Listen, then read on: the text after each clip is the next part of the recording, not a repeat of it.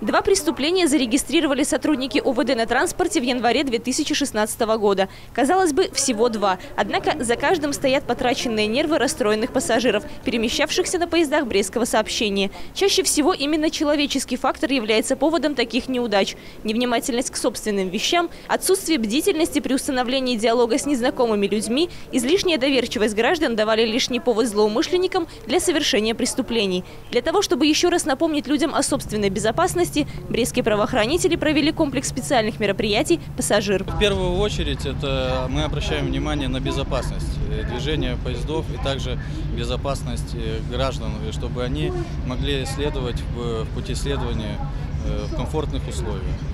То есть законом предусмотрено, что в общественных местах, также на железной дороге и в поездах запрещено распивать спиртные напитки и употреблять табачные изделия.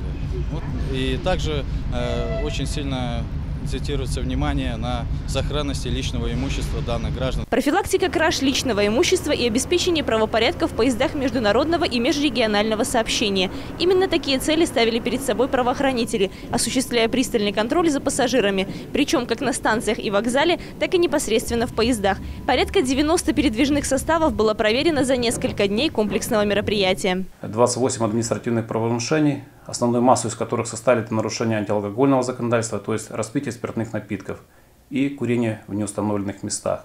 Всего же за время проведения СКМ пассажир нами к ответственности за нарушение административного законодательства было привлечено 86 правонарушителей.